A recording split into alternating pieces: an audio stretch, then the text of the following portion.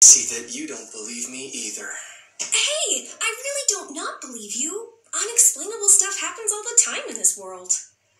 Just the fact that you were stranded and came back is an incredible story. Yeah, well, guess that's true. Um, then it was you and these three bugs stuck on the island together the whole time? Well, no. It wasn't just me and the bugs. Our exceptional stunt bug will execute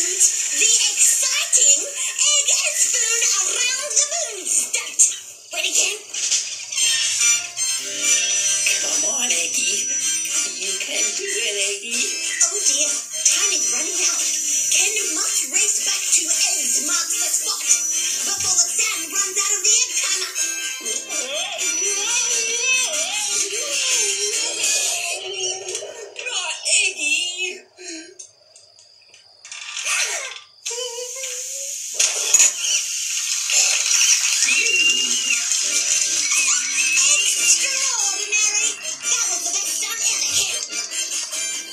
Yes.